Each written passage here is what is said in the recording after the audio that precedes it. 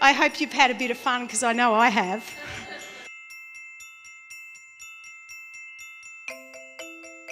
Now, we all want the good things in life success and all those things that come with it. But without our health and well-being, to me, it's all meaningless. Good health is the hinge pin that connects everything together. And I think the key element there is life is a choice. So we get to choose what goes on in our life.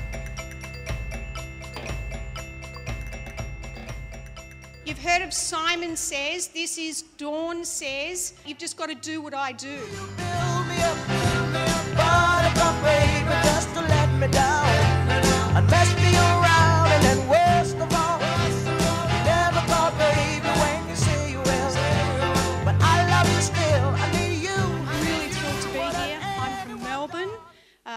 Bit cold in Melbourne, and I love the Sunshine Coast. I love, you know, the water, the ocean, as we hear, you know, you've got beautiful beaches and beautiful people. So I'm very thrilled to be here. I'm a property investor and I'm also a health educator. The reason I'm a property investor is because I want to create my lifestyle. So, as a health educator, I really want to make a difference to other people and their health, so that's why I'm here today. I want to share a couple of stories with you. I've always been a very active person, but I haven't always been a healthy person, so there's a big difference between the two.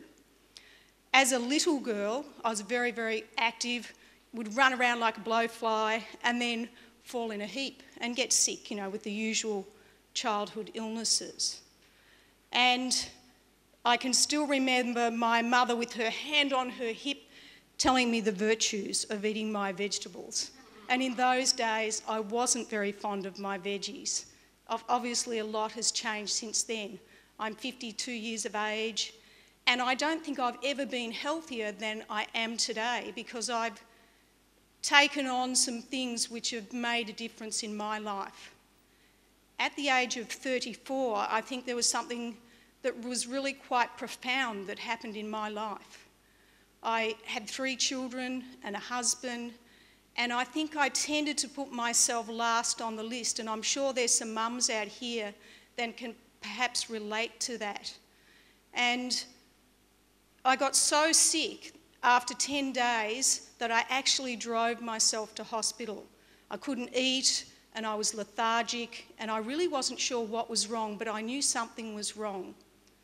And so drove into hospital. They said, well, you know, you're not going home. You have atypical pneumonia. I thought, okay, I've got pneumonia. Need, you know, um, a bit of assistance. So I was in this ward with very elderly people. Now I was 34 years of age, so, so I thought, you know, 60s, 70s, that was very, very elderly. I've since changed my mind on that too, now at the age of 52. But um, in that ward, one of the ladies, one, uh, one evening, one of those ladies had a cardiac arrest and was rushed away. And I never actually saw that lady again. And I was actually too frightened to ask if she was okay. I was there for 10 days on a trip. And on the last day, I was, you know, getting ready to go home, and the doctor came up to the end of the bed and said, Dawn, you are such a lucky woman. I'm thinking, lucky? I'm in hospital. What's, you know, how lucky?